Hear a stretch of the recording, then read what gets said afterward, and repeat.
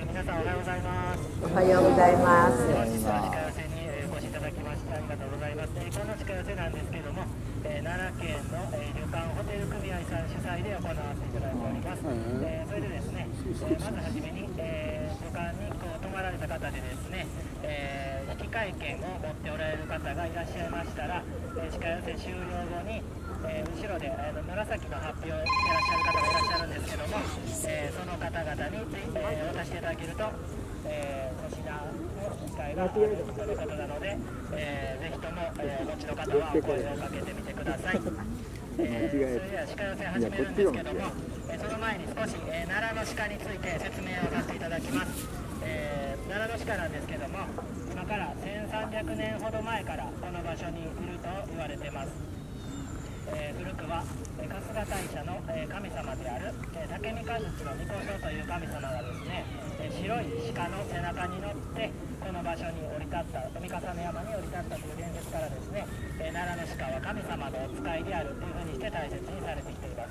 えそして現在では国の天然記念物に指定されてまして、えー聞こえないマイクがこれ以上の音出ないんで申し訳ないですけど。皆さんにちょっとね聞こえるようにちょっとね静かにしていただければ、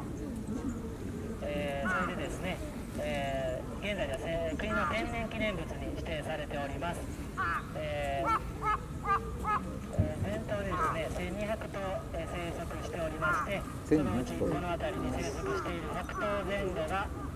場所に来てくれることになってます。そして、えー集まってくれたご褒美にですねえーどんぐりを最後あげます。それで私たち奈良の鹿愛護会というのはですねえー鹿の保護をしている団体です。えー怪我をした鹿であったりだとかえー病気になった鹿の保護活動をしております。えーそんな、えー鹿の、えー怪我を治したりしている場所がこの林の向こうの、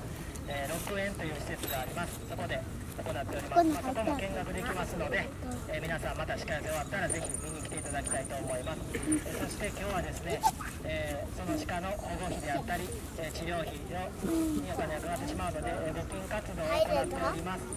えーまた声をかけさせていただきますので皆さん募金活動にもぜひご協力お願いします。それでですね鹿、えーこのホルっていう楽器を使ってじゃあ、おきまねねしたらえのところ座る座れん。で。正面の方から下が立ちますので、皆さん、向きはですね、正面の方を向いていただいて、えー、ぜひとも、えー見ていただきたいと思います。そして、他にですね、道路を渡って皆さん。の後ろ側から来ることがあります。そういう時は鹿さん。僕の方に来たがりますので、少し道を開けてあげてください。そうしないと鹿さん。こっちに来れなくなってしまいます。そして、えー鹿せん。べいなん。ですども、鹿の大好きなおやつになってます。えーそしてあげるときはですね、えーささっとあげてもらって、えーじらしたりするとですね、鹿さん噛んできたり怒ってきたりすることがあるので、えーささっとあげてもらって、なくなったら鹿の目の高さで両手をバーにしてください。そうすると、えー鹿はもうその人には用がないということで次の人のことに行ってしまいます。えたくさんの鹿に囲まれてしまうので、えー本当にねあの怪我される方もいらっしゃいますのでさささっとあげてもらってあのなかなかあげなかったり何度も授業させたりしてじらしたりすると、えー鹿が怒って叩いてきたり噛んでくることがあります。なのでささっとあげてもらって両手をパンにしてください。それでは鹿のところを始めさせてもらいます牛ならすんだ。